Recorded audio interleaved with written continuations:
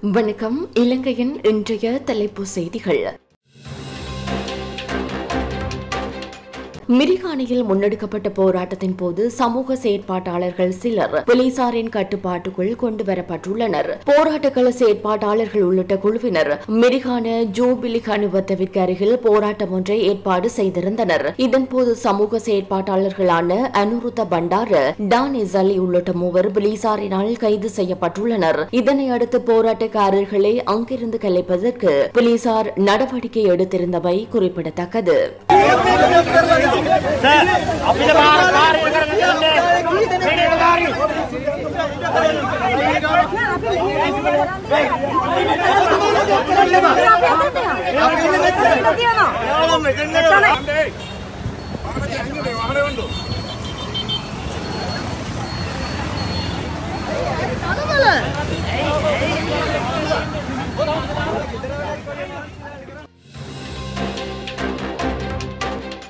இலங்கை மத்திய வங்கி வெளியிட்டுள்ள நாணய மாற்று விகிதங்களின்படி அமெரிக்க டாலருக்கு எதிரான இலங்கை ரூபாவின் பெறுமதியும் கூகுள் வெளியிட்டுள்ள இலங்கை ரூபாவின் பெறுமதியும் முரணானதாக இருப்பதை அவதானிக்க முடிகின்றது. இலங்கை மத்திய வங்கியின் கூற்றுப்படி அமெரிக்க டாலர் ஒன்றின் கொள்முதல் பெறுமதி முன்னூற்று பதினெட்டு புள்ளி இரண்டு ஏழு ஆகவும் விற்பனை பெறுமதி முன்னூற்று முப்பத்து ஆறு ரூபாவாகவும் பதிவாகியிருந்தது. எனினும் அமெரிக்க டாலர் ஒன்றின் பெறுமதி கூகுளில் இருநூற்று முப்பத்து ஆறு புள்ளி எட்டு ஒன்று ரூபாவாக காட்டப்படுகின்றது. இது சுமார் எண்பத்தி இரண்டு ரூபாய் வித்தியாசமாகும். இதேவேளை பங்கு பரிவர்த்தனையும் டாலரின் பெறுமதி முன்னூற்று இருபத்தி ஆறு ரூபாவாக இருக்கின்றமை குறிப்பிடத்தக்கது. எனினும் தற்போது கூகுளில் அமெரிக்க டாலருக்கு எதிரான இலங்கை ரூபாவின் பெறுமதி முன்னூற்று இருபத்தி ஒன்பது ரூபாவாக மாற்றப்பட்டுள்ளது.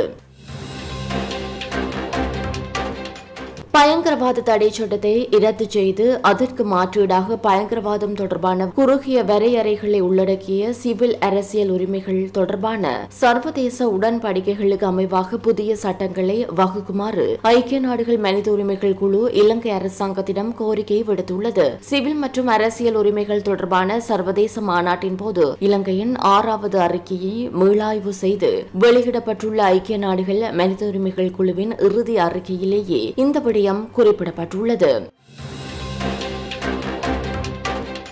கொழும்பு நுகர்வோர் விலைச்சுட்டன் அடிப்படையிலான இலங்கையின் பணவீக்கம் வீழ்ச்சியடைந்துள்ளது. இலங்கையின் பணவீக்கம் மார்ச் மாதத்தில் ஐம்பது புள்ளி மூன்று சதவீதமாக குறைவடைந்துள்ளதாக தொகை மதிப்பு மற்றும் புள்ளி விபர திணைக்களம் வெளியிட்டுள்ள அறிக்கையில் தெரிவிக்கப்பட்டுள்ளது. கடந்த பிப்ரவரி மாதத்தில் இலங்கையின் பணவீக்கம் ஐம்பது புள்ளி ஆறு சதவீதமாக பதிவாகியிருந்தது. மேலும் மார்ச் மாதத்தில் ஐம்பத்தி நான்கு புள்ளி நான்கு சதவீதமாக இருந்த உணவு பணவீக்கம் பிப்ரவரி மாதத்தில் நாற்பத்தி ஏழு புள்ளி ஆறு சதவீதமாக குறைவடை அடைந்துள்ளமை குறிப்பிடத்தக்கது.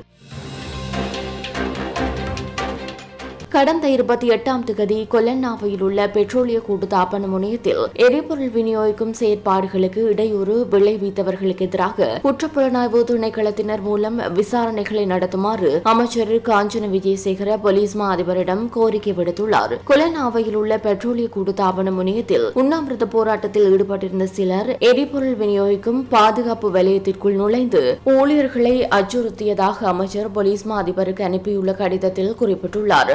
அத்தியாவசிய சேவையாக பிரகடனப்படுத்தப்பட்டுள்ள பெட்ரோலிய கூட்டுத்தாபன முனையத்தின் செயற்பாடுகளுக்கு சேதம் விளைவிக்க முயற்சிக்கப்பட்டதாகவும் அந்த கடிதத்தில் குறிப்பிடப்பட்டுள்ளது. எரிபொருள் விலை குறைப்பின் நலன்களை மின்சார பயன்பாட்டாளர்களுக்கு வழங்குமாறு பொது பயன்பாடுகள் ஆணைக்குழு கோரிக்கை விடுத்துள்ளது. இந்த கோரிக்கை எழுத்து மூலம் இலங்கை மின்சார சபையிடம் முன்வைக்கப்பட்டுள்ளது. உலக சந்தையில் நிலக்கரி விலை குறைவடைதல் எரிபொருள் விலை குறைவடைதல் மற்றும் டொலருக்கு எதிரான ரூபாவின் பெறுமதி வலுவடைந்தமை உள்ளிட்ட காரணிகளின் அடிப்படையில் மின்சார கட்டணத்தை குறைக்க முடியும் என சுட்டிக்காட்டப்பட்டுள்ளது. இதேவேளை எரிபொருள் விலை குறைக்கப்பட்டதனால் மின்சார கட்டணத்தை இருபது வீதத்தால் குறைக்க முடியும் எனவும் சுட்டிக்காட்டப்பட்டுள்ளது. சந்தையில் மாபிள்களின் விலை பன்னிரண்டு புள்ளி ஐந்து முதல் பதினைந்து வீதத்திற்கு இடைப்பட்ட அளவில் குறைவடைந்துள்ளதாக லங்கா டைல் நிறுவனத்தின் முகாமைத்துவ பணிப்பாளர் மகேந்திர ஜெயசேகர தெரிவித்துள்ளார். ரூபாவின் பருமதி அதிகரித்ததை அடுத்து உள்ளூர் சந்தையில் அனைத்து மூலப்பொருட்களின் விலைகளும் குறைவடைந்து வருகின்றன. அதே நேரம் மாபிள்களுக்கான கேள்வியும் சந்தையில் தற்போது வீழ்ச்சியடைந்து வருகின்றன.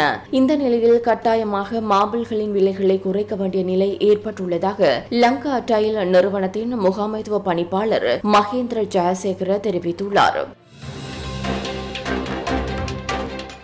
இலங்கையில் அதிகம் விரும்பப்படாத அரசியல்வாதிகளின் பட்டியல் ஒன்றை இலங்கை சுகாதார கொள்கை நிர்வாகம் வெளியிட்டுள்ளது. அந்த பட்டியலில் ராஜபக்ச குடும்பத்தின் நான்கு பேர் முதல் நான்கு இடத்தில் காணப்படுகின்றனர். அதன்படி முன்னாள் நிதியமைச்சர் பெசில் ராஜபக்ச முதலிடத்திலும் முன்னாள் இளைஞர் விளையாட்டுத்துறை அமைச்சர் நாமல் ராஜபக்ச இரண்டாவது இடத்திலும் முன்னாள் ஜனாதிபதி கோட்டாபய ராஜபக்ச மூன்றாவது இடத்திலும் மஹிந்த ராஜபக்ச நான்காவது இடத்திலும் காணப்படுகின்றனர். ஊழலுக்கு எதிரான எந்த ஒரு சட்ட மூலத்திற்கும் ஐக்கிய மக்கள் சக்தி தனது முழுமையான ஆதரவை வழங்கும் என அதன் பொதுச் செயலாளர் ரஞ்சித் மத்தும பண்டார தெரிவித்துள்ளார். கொழும்பில் நடைபெற்ற செய்தியாளர் சந்திப்பில் கலந்து கொண்டு இந்த விடயத்தை குறிப்பிட்டுள்ளார். ஆசியாவிலேயே சிறந்த ஊழலுக்கு எதிரான சட்டமூலத்தை கொண்டு வர உள்ளதாக தற்போதைய ஜனாதிபதி கூறுகின்றார். அவ்வாறான சட்டமூலத்தை ஐக்கிய மக்கள் சக்தி என்ற வகையில் நாங்கள் கடந்த மே மாதமே முன்வைத்தோம். ஆளும் தரப்பாக இருந்ததால் தனிநபர் பிரேரணையாக அதனை தாக்கல் செய்தேன். நாங்கள் கொண்டு வந்த சட்டமூலங்கள் தொழிற்சங்கங்களை நசுக்கும் விதமாகவோ அல்லது இளைஞர்களை கைது செய்யவோ அல்லது மக்களின் அடிப்படை உரிமைகளை சீர்குலைக்கும் வகையிலோ அமைந்திருக்கவில்லை என குறிப்பிட்டுள்ளார். அரசியலமைப்பு பேரவையின் விசேட கூட்டம் ஒன்று இன்றைய தினம் நடைபெறவுள்ளது. சுயாதீன ஆணைக்குழுக்களை நியமித்தல் உள்ளிட்ட பல விடயங்கள் குறித்து இங்கு கலந்துரையாடப்பட உள்ளதாக தெரிவிக்கப்படுகின்றது. சபாநாயகர் மஹிந்த யாப்பா அபேவர்த்தனவின் உத்தியோகபூர்வ இல்லத்தில் இந்த சந்திப்பு இடம்பெறவுள்ளது. வவுனியா நெடுங்கணி வெடுக்குநாரி ஆதிலிங்கீஸ்வரர் விக்கிரகங்கள் இன்றைய தினம் மீண்டும் பிரதிஷ்டை செய்யப்படும் என ஆலய நிர்வாகத்தினர் தெரிவித்துள்ளனர். கலாநிதி ஆறு திருமுகன் தலைமையில் நெல்லை ஆதீனத்தில் இடம்பெற்ற சைவ மக்கள் மற்றும் மதம் மீதான அத்துமீறல்களுக்கான தீர்வு காணும் கலந்துரையாடலின் போதே அவர்கள் இவ்வாறு தெரிவித்துள்ளனர். இவ்வாறு பிரதிஷ்டை செய்யப்படவுள்ள விக்கிரகங்கள் சிவபூமி அறக்கட்டளையால் வழங்கப்பட்டுள்ளதாகவும் தெரிவிக்கப்பட்டுள்ளது. அத்துடன் வடுக்குநாரி ஆதிலிங்கீஸ்வரர் ஆலய ஆலயம் மக்கள் வழிபட அனுமதி வழங்கப்படும் என அமைச்சர் டக்ளஸ் தேவானந்தாவினால் மக்களுக்கு உறுதி அளிக்கப்பட்ட போதும் இதுவரை எந்த நடவடிக்கைகளும் மேற்கொள்ளப்படவில்லை என நெடுந்தீவு பகுதியால் இந்து பிரதிநிதி ஒருவரால் இதன்போது குற்றம் சுமத்தப்பட்டுள்ளது.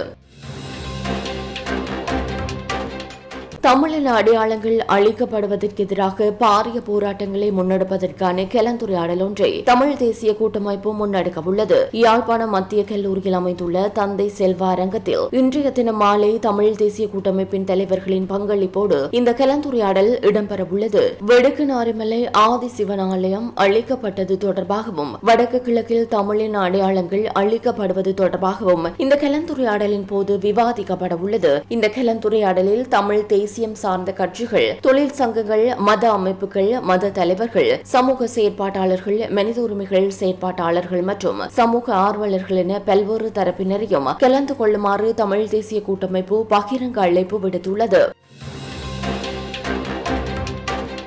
இரண்டாயிரத்தி பத்தொன்பது உயிர்த்த ஞாயிறு பயங்கரவாத தாக்குதல் தொடர்பாக நௌஃபர் மௌலவி மற்றும் இருபத்தி நான்கு பேருக்கு எதிராக தாக்கல் செய்யப்பட்ட குற்றச்சாட்டுகள் மீதான விசாரணை நேற்றைய தினம் கொழும்பு மேல் நீதிமன்றத்தில் ஆரம்பமானது. கொழும்பு மேல் நீதிமன்றத்தின் நீதிபதிகளான தமித் தொட்டவத் அமல் சரணராஜா மற்றும் நவரத்ன மாரசிங் ஆகிய மூவரடங்கிய நீதிபதிகள் குழாம் முன்னிலையில் இருபத்தி ஐந்து பிரதிவாதிகள் முன்னிலையில் குற்றச்சாட்டுகள் வாசிக்கப்பட்டன. நௌஃபர் மௌலவி சஜித் மௌலவி முகமது மில்ஹான் சாதிக் அப்துல்லா ஆதம் லிபே முகமது சனஸ்தீன் மற்றும் முகமது ரிஸ்வான் உள்ளிட்ட இருபத்தி ஐந்து பிரதிவாதிகளுக்கு எதிராக இருபத்தி மூவாயிரத்து இருநூற்று எழுபது குற்றச்சாட்டுகளின் கீழ் பயங்கரவாத தாக்குதலுக்கு உதவி அளித்தமை சதி செய்தமை ஆகிய குற்றச்சாட்டுகளின் கீழ் சட்டம் அதிபர் வழக்கை தாக்கல் செய்தார்.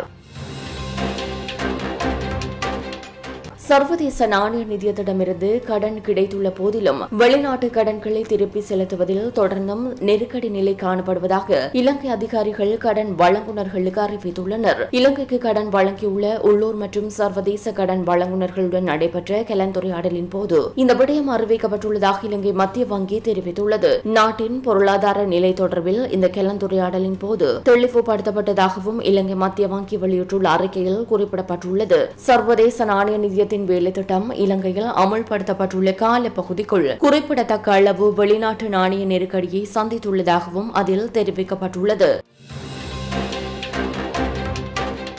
பொது நிர்வாகம் உள்நாட்டு அலுவல்கள் மாகாண சபைகள் மற்றும் உள்ளூராட்சி மன்ற அமைச்சின் புதிய செயலாளராக கே டி என் ரஞ்சித் அசோகவை நியமிப்பதற்கான வர்த்தமானி வெளியிடப்பட்டுள்ளது. ஜனாதிபதியினால் இந்த விசேட வர்த்தமானி வெளியிடப்பட்டுள்ளது. கடந்த இருபத்தி ஓராம் திகதி முதல் அமுலாகும் வகையில் புதிய நியமனம் வழங்கப்பட்டுள்ளது. ஆயிரத்தி தொள்ளாயிரத்தி தொண்ணூறாம் ஆண்டு இலங்கை நிர்வாக சேவையில் இணைத்துக் கொள்ளப்பட்ட ரஞ்சித் சிரேஷ்ட நிர்வாக உத்தியோகத்தராவர் இதற்கு முன்னர் அவர் கைத்தொழில் மற்றும் வர்த்தக அமைச்சின் செயலாளராக கடமையாற்றியிருந்தார் புதிய பேருந்து பயண கட்டணம் உரிய வகையில் நடைமுறைப்படுத்தப்படுகின்றதா என்பது தொடர்பில் ஆராய தேசிய போக்குவரத்து ஆணைக்குழு விசேட வேலை திட்டத்தை முன்னெடுத்துள்ளது. தேசிய போக்குவரத்து ஆணைக்குழுவின் பணிப்பாளர் நாயகம் நிலான் மிராண்டோ இதனை தெரிவித்துள்ளார். திருத்தம் செய்யப்பட்ட பேருந்து பயண கட்டண பட்டியலை சகல பேருந்துகளிலும் காட்சிப்படுத்த வேண்டும் என அவர் ஆலோசனை வழங்கியுள்ளார். பேருந்து பயண கட்டணம் நேற்றைய தினம் முதல் அமுலாகும் வகையில் பன்னிரண்டு புள்ளி பூஜ்ஜியம் ஒன்பது சதவீதத்தால் குறைக்கப்பட்டுள்ளது. இதன் காரணமாக ஆக குறைந்த பேருந்து பயண கட்டணம் நான்கு ரூபாயினால் குறைக்கப்படுகின்றது. இதற்கமைய முப்பத்து நான்கு ரூபாய் என்ற ஆக குறைந்த பேருந்து கட்டணம் முப்பது ரூபாவாக குறைவடைந்துள்ளது. இது போன்ற செய்திகளை தெரிந்து கொள்ள சமூகம் நியூஸ் சேனலை சப்ஸ்கிரைப் செய்து அருகில் உள்ள பெல் பட்டனை கிளிக் செய்யுங்கள். மேலும் இது போன்ற செய்திகளை உடனுக்குடன் தெரிந்து கொள்ள சமூக மீடியா டாட் காம் என்ற இணையதளத்தின் வாயிலாகவும் எங்களுடன் இணைந்திருங்கள்.